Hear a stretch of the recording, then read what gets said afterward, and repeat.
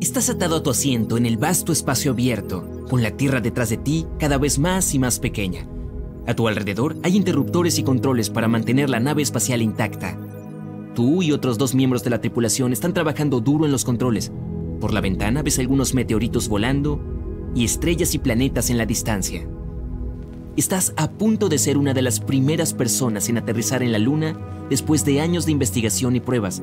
Tienes que considerar todos los pasos a la perfección de lo contrario, podrías enfrentarte a muchas complicaciones, como chocar contra un asteroide o incluso quedarte en el vacío del espacio sin manera de encarrilarte. Las investigaciones muestran que cerca de un tercio de todos los alunizajes enfrentaron muchos problemas. El lanzamiento hacia la Luna requiere un cohete especial que viaja a más de 40.000 kilómetros por hora. Y una vez en la órbita lunar, la nave espacial puede separarse del cohete y navegar hasta la superficie de la Luna y aterrizar. Suena simple, ¿verdad? Bueno, averiguar las matemáticas para aterrizar era la razón por la que llevar un ser humano a la Luna solía parecer una idea ridícula. Pero los científicos pudieron lograrlo estudiando y observando el vuelo de los helicópteros. A diferencia de un avión que necesita velocidad para despegar, las grandes hélices de un helicóptero le dan un buen empujón para volar. Básicamente tiene que girar con suficiente fuerza para levantar su propio peso del suelo. Con eso en mente, debemos considerar la fuerza gravitacional que empuja todo hacia abajo. En la Tierra, la fuerza de gravedad es de 9,81 metros sobre segundos. En la Luna es solo 1,6 metros sobre segundos. Entonces resolvimos aterrizar en la Tierra en su mayor parte, pero ¿qué hay de aterrizar en una superficie que apenas te ayuda en eso? Tenía que haber tres pasos hacer toda la investigación y las matemáticas necesarias para calcular las condiciones adecuadas, usar un vehículo de prueba para practicar y usar un simulador de vuelo para imitar las condiciones de la atmósfera lunar. Los helicópteros no eran realmente buenas referencias para aterrizar, ya que la gravedad hace la mayor parte del trabajo y la nave espacial no se parece en nada a un helicóptero. Necesitaban simular una nave espacial de solo 5 sextos de su peso. Dado que la atracción gravitacional en la Luna es más débil que en la Tierra, navegar en estas condiciones es vital para cuando llegue el momento de hacerlo en realidad. Los científicos de la NASA decidieron conseguir un hangar de grúas para levantar la nave espacial con cables mientras simulaban el vuelo y el aterrizaje. Algo así como los dobles de acción en una película con cables conectados a ellos para las escenas de acción y lucha. Pero no fue suficiente para determinar si realmente podría aterrizar correctamente en la Luna sin los cables de seguridad para ayudar necesitaban la libertad adecuada. Así que volvieron a la mesa de dibujo. Estuvieron a punto de tirar la toalla, hasta que se les ocurrió una idea brillante. Para simular las condiciones de aterrizaje en la Luna, instalaron una especie de ventilador a reacción desmontable en la parte inferior de la nave espacial para mantener un empuje constante hacia arriba. Al hacer esto, pudieron crear un escenario en el que la nave tendría 5 sextos de su peso en la Tierra y sin los cables de seguridad para sostenerla pero después de muchas pruebas y errores, la única manera de ver si era posible aterrizar en la Luna era haciéndolo. Entonces, al estar tan lejos de la Tierra, tú y tu equipo contemplan la Luna. Es mucho más grande de lo que parece desde la Tierra. Su superficie llena toda la ventana. Pero aterrizar no será pan comido. La nave espacial tiene que orbitar alrededor de la Luna para determinar el mejor momento. Y no te preocupes, para eso tienes un equipo puede llevar más de 24 horas saber cuándo y dónde es el lugar perfecto para aterrizar, después de realizar varias pruebas y mediciones. Y una vez que obtenga los mejores cálculos, la nave espacial se separa de la que está en órbita y se abre camino hacia abajo. Aquí es donde entra en juego la física del helicóptero. Un helicóptero necesita inclinarse al menos 5 grados para avanzar después de ascender desde el suelo. Lo mismo para ir hacia atrás. Pero eso es porque tenemos la gravedad para asistirlo por encima de la Luna, surcando el vacío del espacio. La nave necesitaría inclinarse al menos entre 30 y 40 grados para avanzar. Tan pronto como la nave llegara a un buen lugar para aterrizar, volvería a los 90 grados y aterrizaría lentamente en la superficie. A medida que te acercas, puedes ver la superficie de la Luna a solo unos metros de distancia. Esta es la parte complicada, pero es un éxito. El equipo en la Tierra no podría estar más feliz, los miembros de la tripulación también están encantados con lo que has logrado. Te pones el traje espacial y el equipo y bajas la escalera. Dejas tu primera huella en la luna y miras a lo lejos lo que tienes por delante. La Tierra es solo un pequeño punto azul muy lejos. Puedes rebotar en la gravedad cercana a cero. Eso es lo que yo llamo el verdadero paseo lunar o moonwalk. Después de pasar mucho tiempo en la Luna, es hora de regresar. Neil Armstrong, el primer hombre en pisar la Luna, pasó solo unas dos horas y media en su superficie. Pero, oh no, olvidaste las llaves dentro del transbordador y ahora estás varado. Nah, es una broma, aunque habría sido un buen giro en la trama. Regresas y lanzas la nave espacial de regreso a la órbita para reunirte con la otra nave sobre ti. Y una vez que se hayan vuelto a unir, sales de la órbita de la Luna y regresas a la Tierra. Al enviar humanos a la Luna de manera constante, el próximo gran paso a lograr es aterrizar en Marte. El famoso rover de exploración Curiosity viajó alrededor de la superficie marciana y reunió la información necesaria para que los humanos aterricen allí. Y la NASA tiene como objetivo llevar a los primeros humanos después de 2030. El viaje será cientos de veces más difícil que el de la Luna, pero muchas preguntas científicas se responderán una vez que suceda. Los humanos pueden recolectar algunos de los recursos naturales allí e incluso construir puestos de avanzada y colonias. Hay infinitas posibilidades, así como desafíos. El viaje de la Tierra a la Luna es de cerca de 400.000 kilómetros. Marte está a unos 56 millones de kilómetros de distancia. De hecho, podría existir la posibilidad de construir en Marte una nueva sociedad de científicos e ingenieros para aprovechar al máximo las condiciones. Sería completamente autosuficiente, proporcionando formas adecuadas para la agricultura y la ganadería. Y al tener humanos en Marte durante tanto tiempo, los científicos pueden comprender adecuadamente el planeta.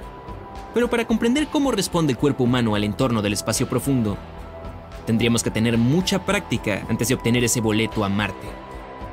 La experiencia más cercana a tener una colonia en medio de la nada es la estación Amundsen Scott en el Polo Sur. Está diseñada para soportar todas las duras condiciones del frío seco. Estar en el fondo del mundo puede ser bastante estresante sin la práctica adecuada. Puede que el viaje no sea tan lejano como Marte o la Luna, pero estar en el Polo Sur es como llegar a un planeta completamente nuevo. La estación en sí está equipada para brindar las condiciones adecuadas que todos necesitan para estar cómodos. Además del fuerte sistema de calefacción, la estación cuenta con una sala recreativa para deportes y música, una biblioteca, un salón e incluso un invernadero para cultivar todas las verduras y frutas necesarias. De hecho, el invernadero es la única forma en que te sentirías como si estuvieras en una selva tropical. E incluso antes de presentar la solicitud allí, tendrías que someterte a una evaluación para ver si puedes manejar el aislamiento durante tantos meses. No es que estés completamente solo, pero aún estarías lejos de la civilización. Toda la población de la Antártida está formada por científicos e ingenieros, y tendrías que ser examinado por un médico para determinar si estás físicamente en forma para permanecer allí. La estación está construida en ese lugar para que los científicos estudien el espacio y cosas relacionadas con la geología. Estar en el desierto más grande del mundo puede pasar factura. Al salir de la estación, hay que usar al menos tres capas de guantes y suéteres y chaquetas extremadamente gruesas para soportar el frío. Incluso compararon pisar el Polo Sur con caminar sobre la Luna. La Luna, un hermoso satélite natural con unas misteriosas manchas oscuras. Siempre vemos un solo lado, así que estamos acostumbrados a esta imagen. Es difícil imaginar la Luna luciendo de otra manera. Pero antes era diferente. ¡Oh! Era tan diferente. Imagínate esto, un enorme satélite incandescente en el cielo que está provocando tsunamis constantes. Sugiero que vayamos muy lejos en el pasado para ver cómo era la Luna hace muchos, muchos años. La Luna se formó hace unos 4.500 millones de años.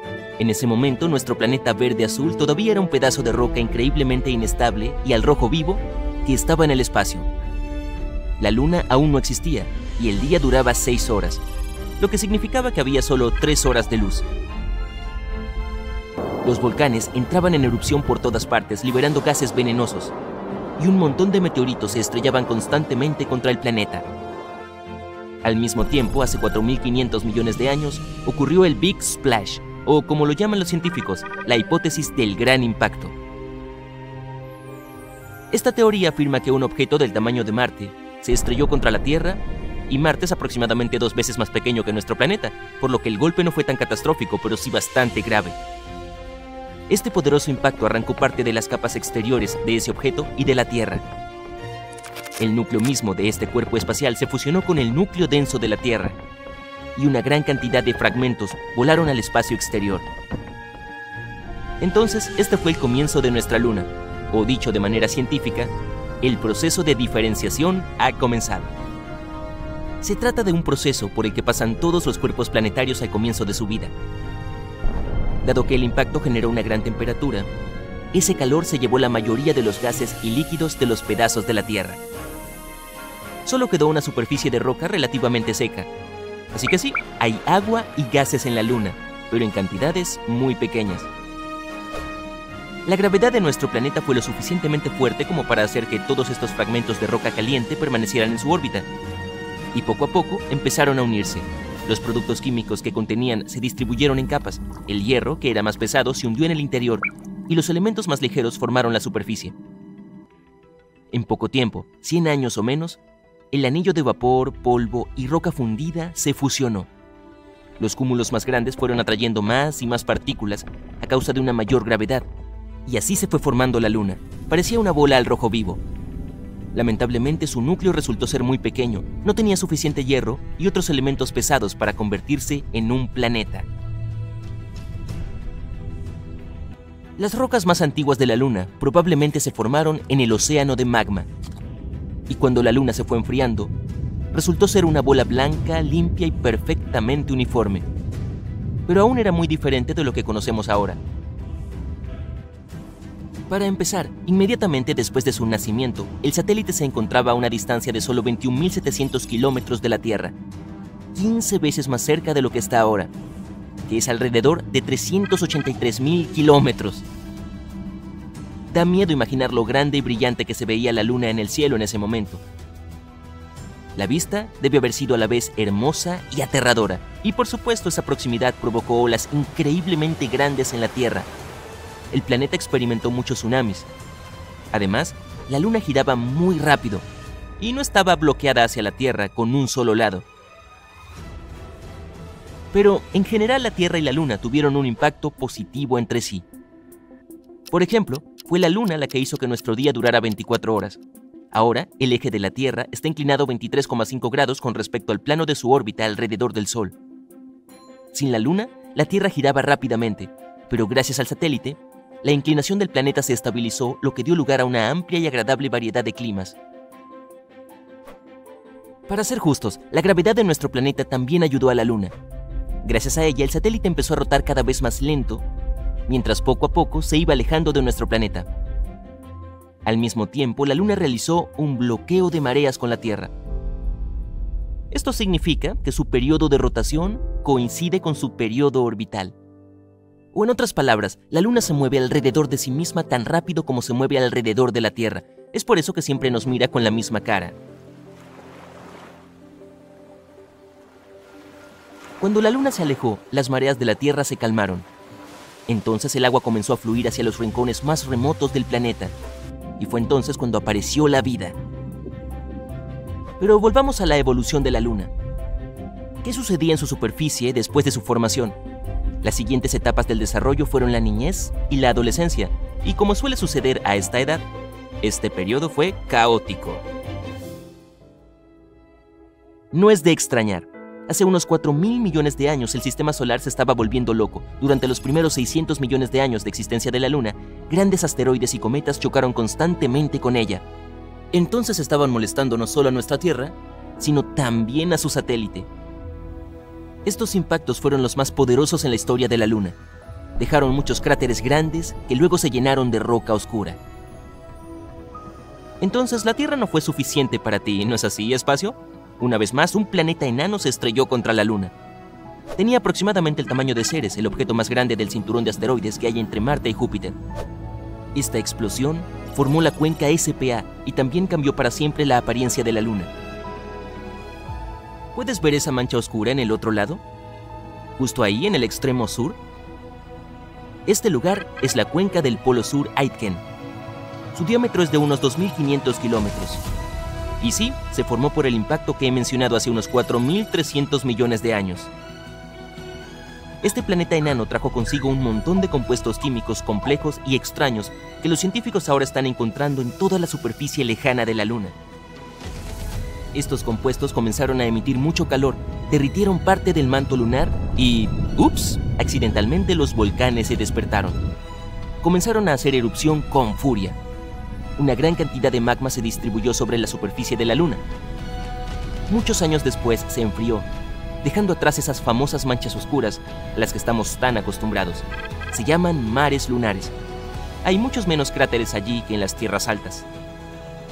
Pero durante los últimos mil millones de años nuestro satélite ha estado geológicamente inactivo, excepto por colisiones ocasionales con meteoritos. En general, su apariencia cambió para siempre como resultado de estos sucesos. Y maltratada y cansada, la Luna entró en la edad adulta, pero ni siquiera entonces pudo obtener paz un grupo de meteoritos decidió molestarla otra vez. Honestamente, no fue tan malo. Hubo muchas colisiones, pero fueron bastante pequeñas. Solo dejaron un montón de cráteres y pozos en la Luna, y tal vez dañaron un poco su manto.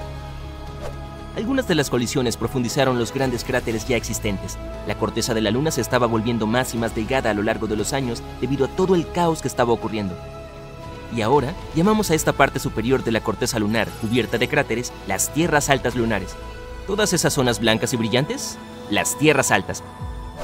Pero al final el universo se calmó. Por ahora al menos, y la luna comenzó a verse como luce hoy.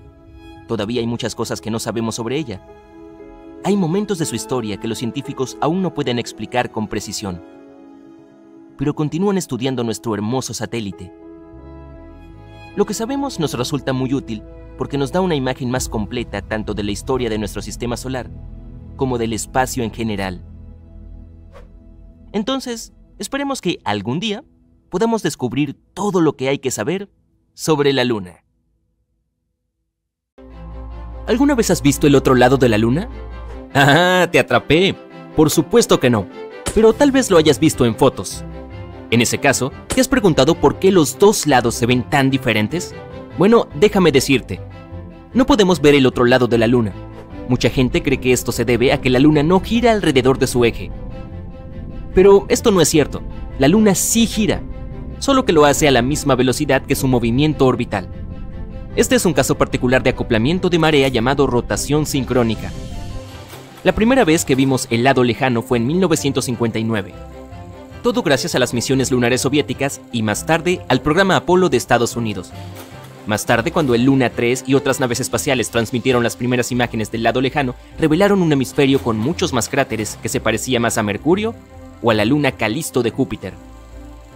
Se veía completamente diferente de lo que estábamos acostumbrados, y fue entonces cuando nos enteramos de lo que es en realidad el otro lado. No, en serio, solo míralo. El lado cercano tiene una corteza más fina y lisa, estas hermosas manchas oscuras se llaman mares lunares, últimos restos de antiguos flujos de lava. Y cuando digo antiguo, lo digo en serio, tienen más de 3 mil millones de años. Mientras tanto, la corteza del lado opuesto es más gruesa y tiene cráteres. Los flujos de lava casi no tuvieron efecto en estos cráteres. Tampoco hay aquí mares lunares de gran tamaño. De perfil parece queso blanco seco. Para ser honesto, ¿no estás de acuerdo en que el lado cercano es mucho más hermoso? Cuéntanos qué opinas en los comentarios. Entonces, hace solo 50 años, vimos por primera vez las aparentes diferencias, pero luego los científicos descubrieron algo extraño. Ambos lados son distintos, incluso en la composición geoquímica. Y no solo en esto. Nuestro lado es más delgado que el otro lado por varios kilómetros. Pero ¿de dónde provienen estas diferencias tan significativas en una bola de piedra flotante? Para los científicos esto era un misterio, comenzaron a proponer muchas hipótesis. La teoría de la luna derretida fue la principal durante un tiempo. Decía que era culpa de la Tierra que nuestra luna se viera así. Esto sucedió hace varios miles de millones de años. La luna nació a causa de una colisión. Un día, un objeto del tamaño de Marte se estrelló contra la Tierra. En ese momento se desprendió un trozo que luego se convirtió en la luna. Pero que estaba 15 veces más cerca de la Tierra de lo que está ahora. Algunos artistas crearon imágenes de la llamada luna temprana. A diferencia de nuestra linda bolita blanca, la luna temprana era una bola escarlata hirviente, de aspecto extraño. La Tierra después de la colisión seguía siendo un infierno incandescente, lleno de fuego y lava, con una temperatura de 2480 grados centígrados. Y como la luna siempre miró hacia nosotros con un lado, este lado se ha fundido un poco. Esto explicaría por qué la superficie de la luna, el llamado manto, es más delgada en el lado cercano que en el lejano. Mientras la Tierra estuvo así de caliente, ciertos elementos se evaporaron y se adhirieron a la Luna. Esto explicaría la diferencia en la composición geoquímica entre los dos lados. Pero había un agujero en la trama de esta teoría. Si eso es lo que sucedió, ¿de dónde provienen ciertos elementos químicos extraños, como los isótopos inusuales de fósforo, potasio o tungsteno? El lado cercano está lleno de ellos, y no podrían haber venido de la Tierra. También hubo otras teorías, una dice que inicialmente teníamos dos lunas diminutas que luego se fusionaron y formaron una más grande. De ahí la diferencia en su composición. Pero esta teoría suena un poco loca y también tiene un agujero en la trama. Por ejemplo, la transición entre los dos lados es demasiado suave. Si nuestra luna estuviera compuesta por dos lunas diminutas, esta transición sería más abrupta. Por lo tanto, esta teoría no resulta muy convincente. Pero hace poco finalmente se descubrió qué fue lo que le sucedió a nuestro satélite. Todo gracias a los orbitadores Grail de la NASA. Pasaron más de un año dando vueltas alrededor de la Luna, cartografiándola y estudiando su composición. Usando estos datos, se han hecho unas 360 simulaciones por computadora, en las que se han incluido objetos de diferentes tamaños que se mueven a diferentes velocidades. Los científicos compararon los resultados de las simulaciones con nuestra Luna actual, y así resolvieron este misterio de 50 años. La respuesta está en una colisión con un planeta enano. Esta colisión ocurrió hace 4.300 millones de años. Este enorme objeto era un poco más grande que Ceres. Para quien no lo sepa, Ceres es uno de los planetas enanos de nuestro sistema solar. Su diámetro es de 933 kilómetros. Se podría decir que Francia o Alemania encajarían en él.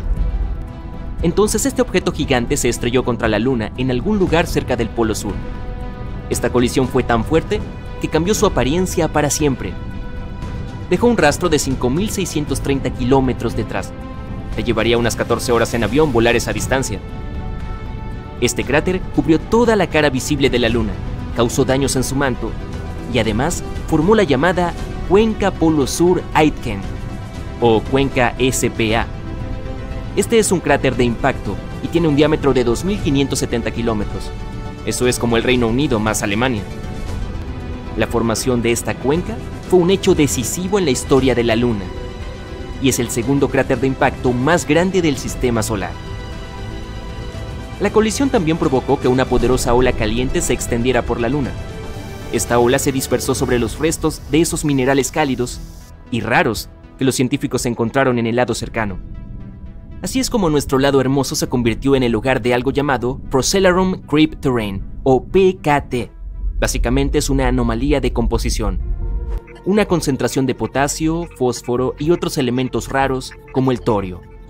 Se puede decir que esos minerales son un regalo para nosotros desde el espacio profundo. De todos modos hubo muchas, y quiero decir muchas colisiones en la historia de la Luna.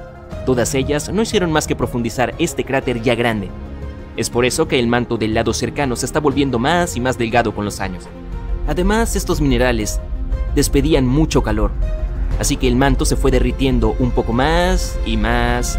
Ups, esto provocó que los volcanes de la Luna se despertaran. La actividad volcánica ha aumentado en el lado cercano. Intensos flujos de lava llenaron los antiguos cráteres vacíos. ¡Tarán! Así nació el hermoso mar lunar. Bien, toda esta información se encontró gracias a los investigadores de las universidades de Brown, Purdue, Stanford y el JPL de la NASA. La investigación se publicó en el Journal of Geophysical Research, Planets, por lo que puedes leer sobre ella con más detalles si estás interesado. Todavía hay muchas cosas que necesitamos aprender sobre la Luna. La máxima prioridad es la misión de regreso al Polo Sur, a la cuenca de Aitken, las muestras traídas de allí se utilizarán para determinar con mayor precisión la edad de la Luna, su historia y la naturaleza de la corteza y el manto. Otro objetivo crítico es Moscoviense, Este es el nombre de una gran llanura de lava que se encuentra en el lado oculto. Estudiarla nos ayudará a comprender mejor la diferencia entre los dos lados, además de decirnos cómo se formó el otro lado. Todo este conocimiento es significativo para comprender la historia de nuestro satélite, pero también es útil para la exploración espacial en general. Los científicos usan la Luna como punto de referencia para determinar la edad de otros planetas en el espacio. La Luna nos ayuda a comprender la cronología de la vida de todo el sistema solar. Esperemos nuevas investigaciones y descubrimientos emocionantes.